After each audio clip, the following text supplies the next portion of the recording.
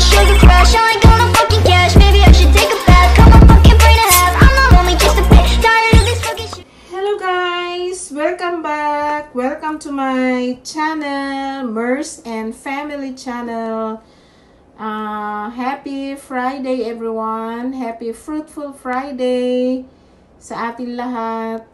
To all my Muslim brothers and sisters, Juma Mubarak. Happy Friday to all my uh, Muslim brothers and sisters.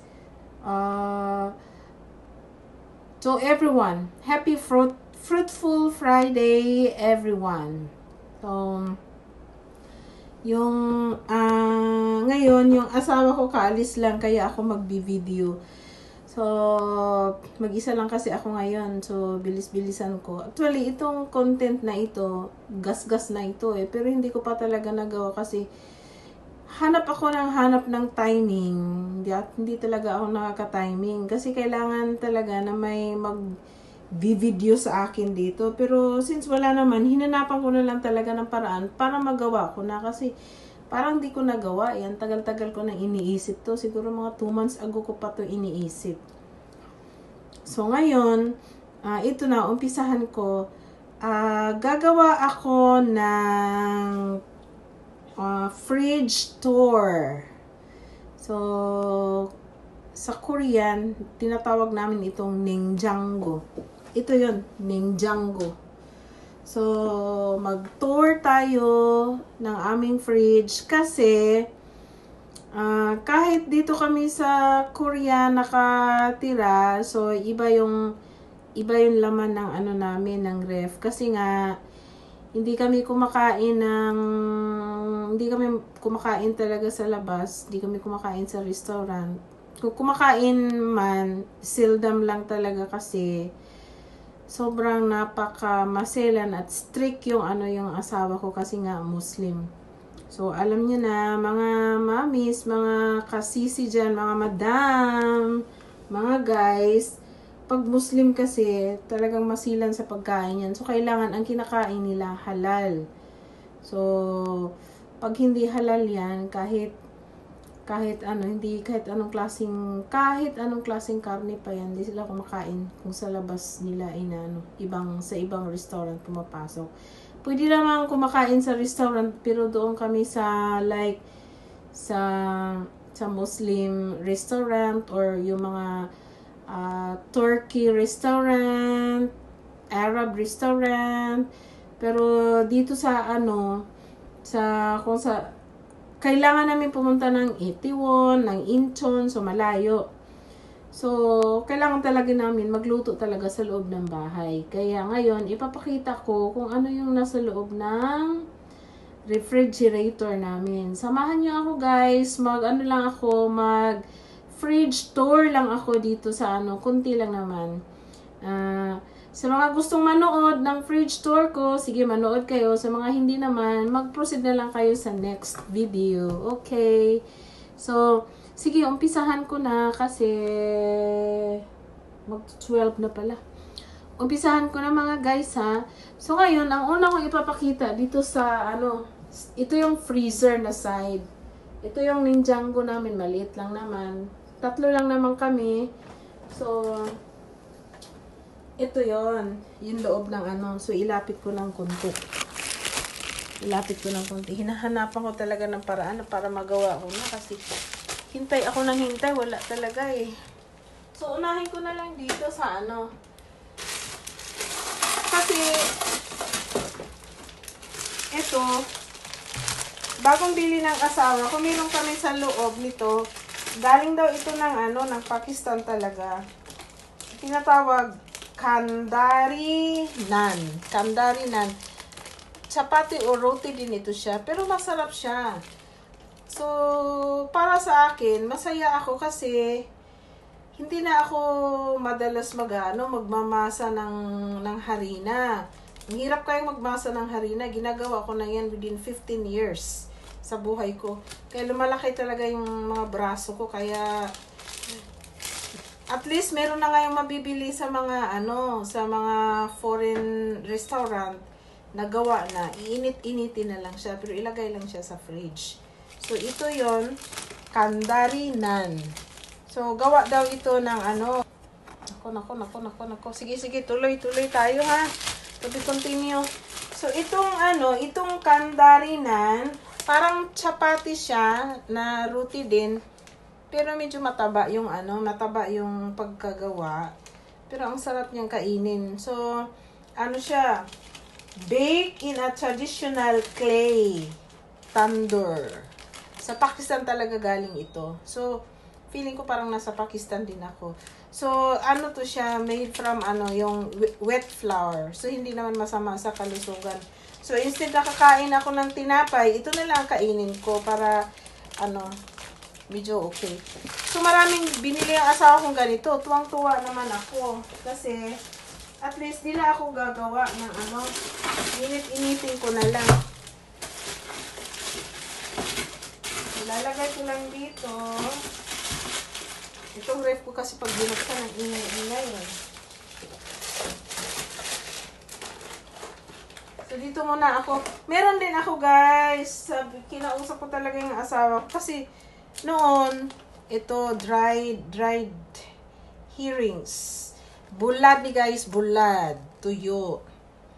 So, habang nanonood ako ng mga mukbang-mukbang ng ibang nagbablog, takam-takam ako sa ano sa tuyo. Pero konti-konti lang naman ang kakainin ko nito. Pero, mula no ano, na ang amoy, hindi nila gusto.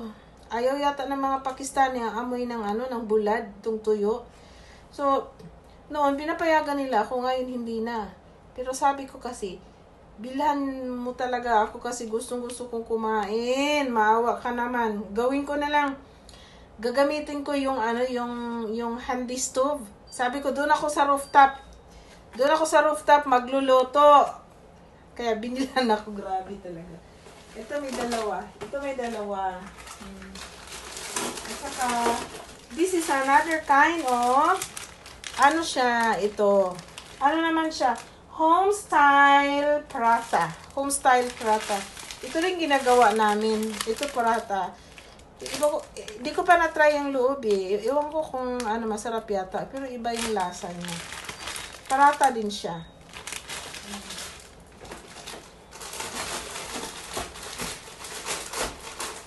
So, pareho lang naman yung laman niyan. Kasi si MJ, pag hindi siya, walang ganang kumain si MJ, ayan, binilhan ko siya ng, ano, Tulkim Jaban. Ano to? Yung parang, ano, seasoned liver. Ano siya, yung flakes. Kimba, yung flakes na seaweeds flakes. So, pwede mo lang ipag kumain ka, i- ibabad, i ano mo siya sa kanin, ganyan, spread, spread mo siya. Masarap naman. Kung pa, ano, pag walang lasa yung ano, wala kang panglasa. So, ito ngayon, ito, another kind of paratha. Oy, alhamdulillah, ang daming blessings, ano. So, ito naman, ito yung kinakain talaga namin. Ano siya? Frozen, uh, frozen paratha. In, in, ewan ko kung ano, galing yata din ito ng ano ng Pakistan. eh. Ito, nagagawa ko siya ito sa bahay. Kaya lang, kaya nga napapa, nakakapagod. Pero, kahit meron kaming ganito, yung anak ko, magre, alam ko, magre-request pa rin siya ng ano, yung talagang magmamasa ako. Pero okay lang, at least, meron, meron din naman, ano, kumbaga, nag, pag nagmamadali, meron kang, iinit-init mo lang. At ito naman, iba din ito siya. Parang feeling ko pag kumain ito, lalong tumataba ako. Ano siya eh? Shermal. Shermal siya. So, it's a kind din ng ano, parang para din siyang prata, pero iba yung lasa niya. Yung hindi siya matamis, ganyan. Yung i, i ano mo talaga sa ulam. Pero ako hindi kasi ako sanay pang magkakain ng mga ganito na ano sa ulam eh. So, ano lang siya, ganun din. Heat and eat. I-heat mo lang siya, yun na, mabilis. So, three pieces inside. Tatlong piraso siya sa loob. Ano siya, mm, basta made of, ano, ah, ingredients niya pala, wet flour, vegetable oil, milk powder, margarine. So, to be continue tayo mga guys. Naputol, biglang naputol kasi yung ano, may timer kasi. So, ang ingredients nito ay wet flour, vegetable oil, milk powder, margarine, water, salt, sugar, and saffron. Ito pala yung ano, may konting sugar siya. So, ang tawag naman nito ay shermal. Ang tawag nito shermal. So, yun. So, yun ang mga kakainin namin. Tapos, ito, bumili din kami ng frozen okra. Kasi lahat, lahat, halos lahat naman talaga naka, talaga naka, naka frozen siya. Hindi na kasi summer, kaya frozen, frozen na lang yung ano. Nakain ko na yung, ano, kumain na ako ng okra kagabi. Tapos, ang bana ay kabayo. Ta- Tapos, ang banana, ito yung saba na banana, naka-frozen din. So, okay lang naman, pagtiisan din. Okay lang. Pag namimiss mong kumain, ito na lang. Kasi, gano'n-gano'n naman ang lasa. Pero iba talaga yun sa atin na fresh na fresh. Meron din naman nagtitinda dito ng mga green. Meron talagang ano, green. Green pa, may balat pa. Yun. At saka, eto hindi pa namin natitikman. Ang asawa ko kasi yung namimili nito eh. Dal Kachuri. Dal Kachuri. Siguro alam niyo yan, mga Philippine wives dyan sa, ano, sa whole Pakistan, entire Pakistan. Dal Kachuri daw ito. Hindi ko pa natitikman, hindi ko nakikita kung ano yung meron sa loob eh. Titikman ko pa, tignan ko. Pero ano siya, bilog-bilog. Ewan ko, parang ano ba yun? Kabap ba yan? Ewan ko ano yung laman yan.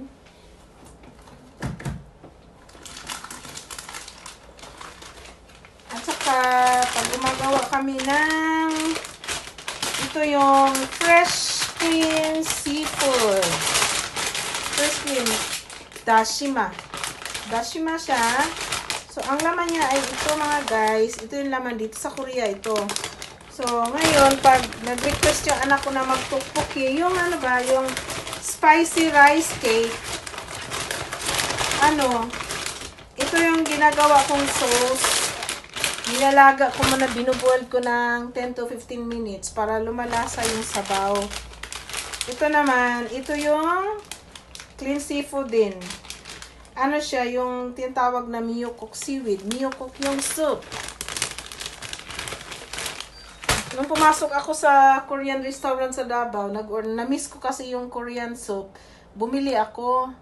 Ngayon, Diyos ko ang mahal-mahal ng isang order. Ganito kalaking bowl. Ang mahal pala doon sa ano, Philippines. At saka guys, ito yung samosa. So, gawa na siya. So, at least yung asawa ko naman, naiintindihan ako dahil ah pag dito sa bahay, kung lahat ko gagawin nito, hindi na ako makakalabas sa bahay, ito na lang ang gagawin ko sa buong buhay ko. Mag-prepare ng mga pagkain nila. Tapos kanya-kanya pa kami ng putahe. Yun. So, ito yung samosa. Ang laman naman nito, guys, ay ano, nakaan na siya yung parang spring rolls ba sa atin. Hmm. Ito. Nakaan na siya. Yan. Ito, ito, ito. Yan. May ano na siya. Parang mando siya. Ano. So, pwede mo siyang i-fry, i-deep fry, or kung feeling mo gusto mong mag-trip ng ano, i-steam mo siya. Mas okay din. Kasi para mas healthy. Mm. So, yun ang laman ng ano namin. Ayun ba, hindi na, hindi ko na may balik. So, next naman tayo. Ito napakita ko na. Ito, mga ano to, frozen okra.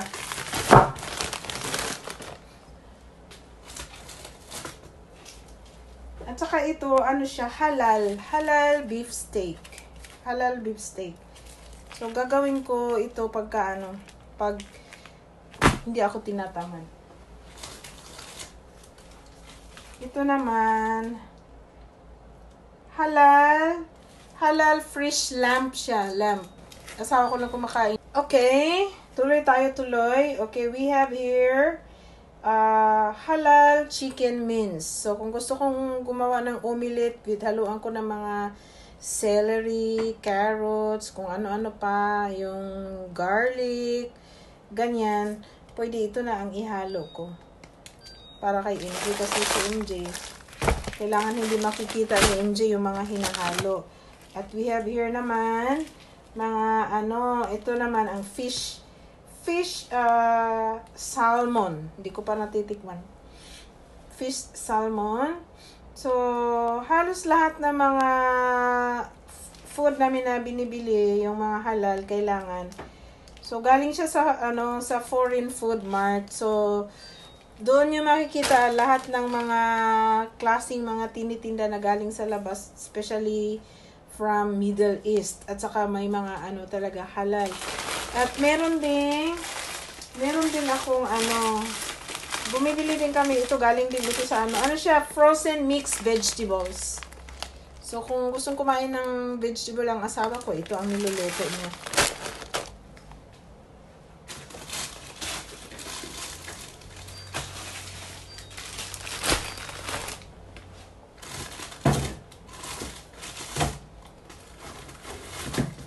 at saka ito rin meron din kaming frozen kiss ito, frozen peas. Tatlong ato, ano to eh, 3 packs. Binibili ng, binili ng asawa ko. So, naka-stock na dito kasi hindi kami basa-basa kasi makabili. Pero yung ibang mga gulay, binibili na lang namin sa ano, sa market. Pwede naman.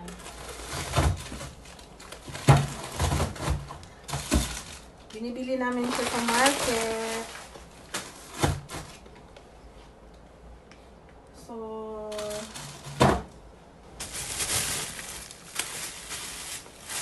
At saka ito mga guys, ano to, ampalaya. So ganito ang ginagawa ko sa ampalaya kasi pag nilalagay ko lang siya doon sa may mga mga vegetables, ano siya, nalalata siya doon, sayang. Hindi ko hindi siya makakain, masira lang. Kaya ginagawa ko, nililinis ko, ini-slice ko, nilalagay ko sa freezer. So, anytime na gusto kong kumain uh, ng ampalaya with eggs, kunin ko na lang siya sa ano, sa ref dito sa dito sa freezer. Saka ito pa. Ang sa ilalim nito yung ano, yung sibuyas, green sibuyas. Tapos ito ampalaya pa, ampalaya pa din. Ang dami ko lang, ang dami ko pang ampalaya eh. Inaano ko talaga siya. So maghahanap ako nito ng ano para magpinakbit ako.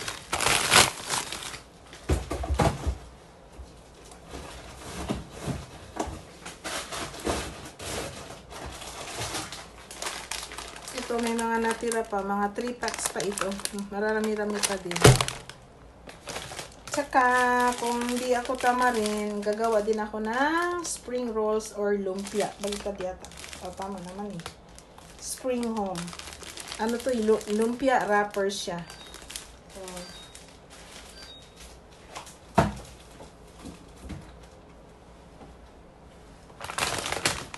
saka sa atin, bulinaw. Bulinaw na malaki ito mga guys. So panghalo ko ito pagka nag-boiled ako ng seaweeds para gagawa ako ng uh, spicy rice cake para sa anak ko, yung tuktuki. Ito hinahalo ko sa pagbo-boil with ano, yung yung seaweeds para ano para lumalasa siya. So ganun lang.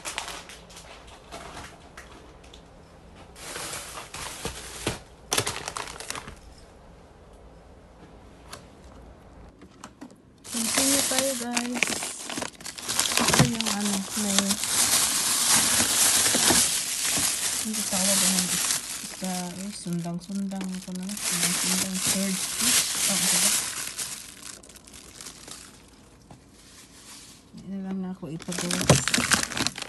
Ano siya?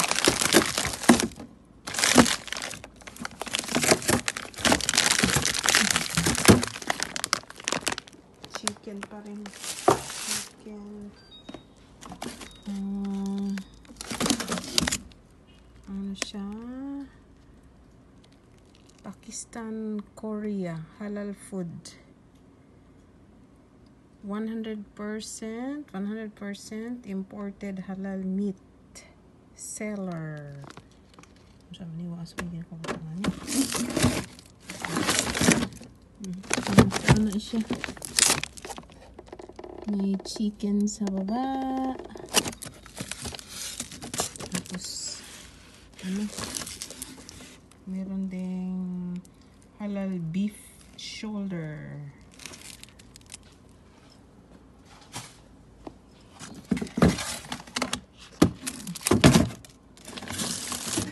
Chicken. Ito yung ginagamit talaga niluluto namin. Nor chicken from authorized distributor products. Halal talaga siya. Halal ito halal chicken. Ano na siya guys. Balik na po.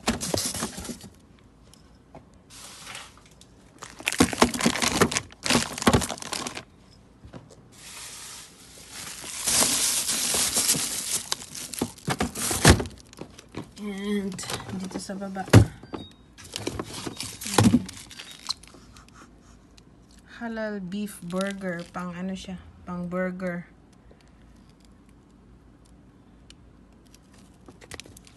I-fry lang siya. Tapos ano.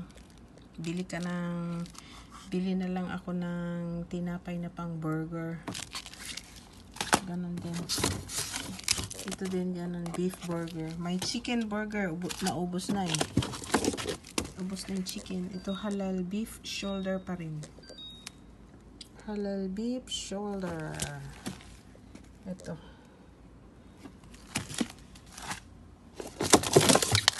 Ito, ano siya? Full chicken. Isang whole chicken. So, pwede mo siyang, ano, pwede siyang ilagay sa oven. Lagyan ng ano, ima-marinate. I-marinate ng 24 hours. Tapos ilagay sa oven. Ay, ang sarap. Yung mari marinate niya, kagus talaga sa ano. Papasok lahat yung mga ano, ilalagay niya. Chicken pa din. Halal chicken yan. Halal chicken. Ayan yun. Ganon din naman. Pareho lang naman yung nasa loob. Ito, isang buong chicken. Ganyan. Pareho lang din. Balik ko na. Ayan.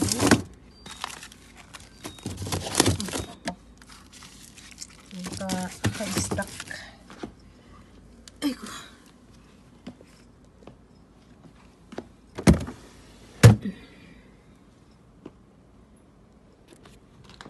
So, dito ako sa, dito naman ako sa kabila.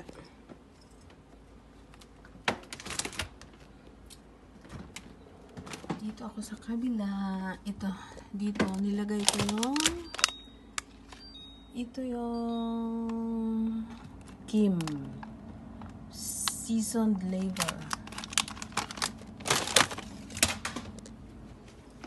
Mm, Pag kumakain, hindi mo siyang iulam. Tapos ito, ano ba ito? Binili ng asawa ko. Kailan ba ito mag-i-expired? December, hanggang December pa. Dapat kainin na to. Hindi ko alam kung ano to eh. Halva. Extra with pistachio. Tapos ito naman, anong flavor ito? Ito naman, kasha halva. Mahilig yung asawa ko sa mga sweet-sweet eh. Ito. Mga gamot ako dito, kwak-kwak, doktor. I- ilaga sa, ilaga mo sa tubig, iboboil sa tubig, tapos inumin. Pwede, pwede ka rin magsuog. Yung mag-steam, ginagamit ko din yan pag nag steam ako. Yung lalagay ko sa ano, papausok ako. Ito naman, ito lang nandito sa amin. Ito siya, doenjang. Yung mga nandito sa Korea, alam nila yung pang doenjang cook, mga ganyan. Ito din doenjang. Ito yung chili paste. nilalagay namin pag gumagawa kami ng magluluto yan ako ng ah, ano yan tteokbokki tapos yan bigay pa ni Lisa is na na natira. Yung parang ikay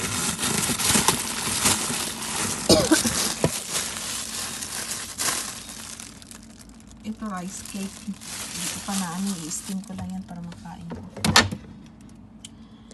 Pag may mga tira-tira nilalagay ko talaga siya dito kasi para hindi ma ano, hindi maamoy yung hindi mo ma hindi lumalabas yung mga amoy-amoy na That's all for this Friday, guys. I hope mag-enjoy kayo sa panonood. Please don't forget to watch at saka doon sa mga nagsusubscribe na, sa mga nagsusuporta. Maraming salamat sa inyong lahat at saka sa mga bago pa sa channel ko. Uh, please wag kalimutan na panoorin yung mga video namin, paki-like and share and subscribe na din. Maraming salamat sa inyong lahat. Uh, stay stay healthy tayo, keep safe. So, happy Friday and happy weekend na din. Bye everyone. See you on my next vlog.